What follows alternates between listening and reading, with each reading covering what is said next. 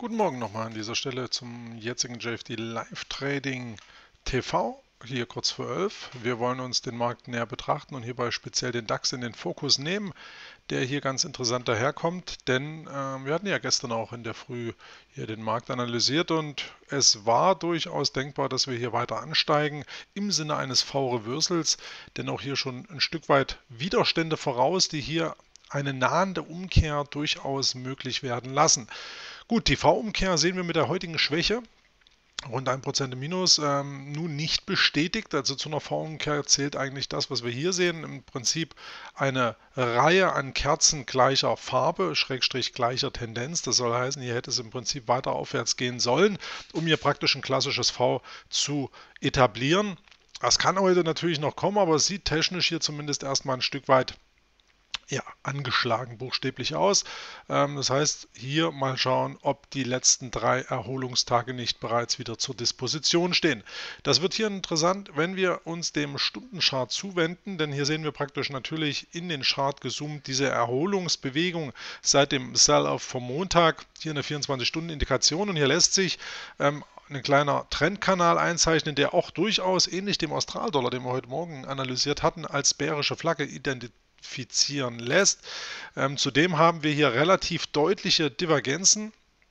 Ähm, das natürlich auch hier hergeleitet bereits durch die 24-Stunden-Indikation. Hier hatten wir in der Nacht der eh einen schwachen Handel am Vortag, letztlich aber hier ähm, am Vorvortag wo bemerkt, ähm, hier letztlich dann zur Eröffnung des US-amerikanischen Markts, das ist hier praktisch die Nachmittagszeit vom DAX, ähm, führten neue Hochs trotzdem nicht zu einem klaren äh, Umkehrsignal und das ließ hier schon eine weitere Schwäche durchaus möglich werden, die sich aktuell auch fortsetzt. Und wir haben hier durchaus noch ein Stück weit Spielraum. Der DAX aktuell hier an einem Level, ähm, was ja zum einen durch diese untere Trendlinie hier, aber auch zum anderen, wenn Sie hier den Spike sehen vom 25.08., hier das Low von, vom 26. zur zum Closing der US-Märkte. Hier nochmal ein indikatives Low von gestern früh in der 8, und, äh, 8 Uhr und wir haben jetzt hier praktisch genau dieses Niveau hier um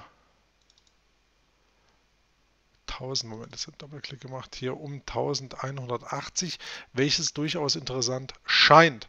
Sollte der DAX also jetzt hier die Anfangsschwäche, die sich hier mit der Eröffnungskerze letztlich durchgesetzt hat, weiter fortsetzen, dann wären hier Preise unter 10.180 äh, Punkte durchaus verkaufenswert im Sinne des Ausbaus der negativen Divergenz und auch eines Einlaufens in die ähm, überverkaufte Zone rein vom Oszillator hier RSI 14 her. Das soll heißen, hier könnte sich ähm, mit der Bewegung hier von Ende äh, ähm, des Mittwochs, Donnerstag herab hier so ein kleiner Bogen bilden, so ein kleines Top, welches hier dann rein technisch weitere Verluste zulassen würde. Wir machen mal den Bogen hier gerade fix. 1, 2, 3 könnte sich praktisch so darstellen als kleiner Topbogen hier oben. Und das wäre insbesondere eben der Fall, wenn wir jetzt hier markant neue Tiefs machen dafür spricht die Wochentagsstärke, äh, Schwäche in dem Fall vielmehr. Also hier wird ja die Wochentagsstärke signalisiert, sprich wie viele Tage konnten im Plus beendet werden und 40% Freitag ähnlich schwach wie der Dienstag, also statistisch hier auch ein Stück weit Gegenwind, welcher hier vom statistischen Wert her mit Blick auf die letzten 52 Handelswochen eine fallende Tendenz präferieren lässt. Und ähm, ja, der erste Ausverkauf wird jetzt hier mehr oder weniger versuchsweise stabilisiert. Wir gehen mal kurz auf den DAX dann noch hier in der Beschau.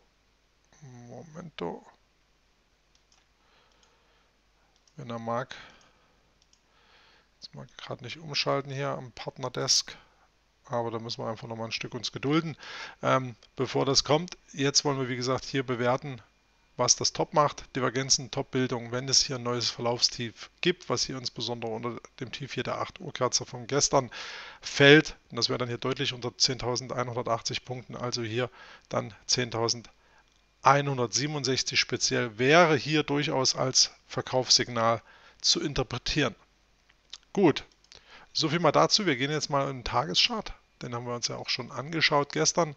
10.180 wäre praktisch hier das Tief von gestern unterschritten. Und das könnte natürlich dann hier zu einer Ausdehnung führen, die hier nochmals einen Test der 10.000 Punkte Marke vor dem Wochenende zulässt. Wir werden auch im weiteren Tagesverlauf spätestens am Nachmittag einen größeren Artikel nochmal posten, der sich hier an den der letzten Woche anschließt, im Sinne dessen, okay, steht jetzt hier eine größere Korrektur bevor oder nicht. Summa summarum deutet es sich an, dass wir hier eine weitere Schwäche zu erwarten haben und der Markt tendenziell doch nochmal unter die 10.000 kippen dürfte. Gegebenenfalls vielleicht heute auch mit dem saisonal statistisch negativen Rückenwind sozusagen oder aber eben dann, wenn es denn anders kommt, ähm, in den kommenden Tagen. Wir haben jetzt hier volatilitätstechnisch und saisonal gesehen stürmische Zeiten vor uns. Das spricht ergo für eine ja, eher volatile Phase, die wir hier dann durchaus dahingehend bewerten müssen, dass der Markt, wenn er denn nach unten auftritt, auch natürlich das mit dynamischer Volatilität vollzieht. Und auch hier im Kontext der kleinen Aufwärtskerzen, der starken Abwärtskerzen und des V-Reversals, was wir jetzt hier ansatzweise sehen, welches jedoch hier kurz vor der Relation stehen könnte. Wenn jetzt hier und heute ein schwacher Tag folgt und am Montag gegebenenfalls auch noch, dann hat sich das V-Reversal rein technisch definitiv erledigt. Und wenn wir hier das Fibonacci-Level mal rannehmen, dann wären wir hier noch nicht mal bis zum 50er Retracement-Level gelaufen, beziehungsweise bis knapp vor diesem, wären gescheitert und insbesondere mit Rückgang hier unter das 38er-Level, was auch durch einen Rückgang unter das gestrige Tagestief bestätigt werden würde, wäre es dann sicherlich hier die Gefahr gegeben, dass wir unter 10.000 Schrägstrich in Richtung der letzten Verlaufstiefs doch nochmal zurückfallen. Also hier die weitere Erholung bleibt hier ähm, eher der Plan B. Also müssten wir heute schon nochmal explodieren ordentlich ähm, präferiert ist. Und dann setze ich das auch gern nochmal direkt runter jetzt äh, im Sinne dessen, dass, wir, dass die Chance eines V-Reversals meines Erachtens schwindet. Setzen wir das gleich mal runter, dass hier eine Chance in Richtung neuer Tiefs meines Erachtens als erhöht anzusehen ist. Warten wir mal ab, was heute noch passiert. Gegebenenfalls schalten wir uns am Freitagnachmittag, am späten Nachmittag nochmal dazu. Die Amerikaner werden wir heute auf jeden Fall nochmal unter die Lupe nehmen.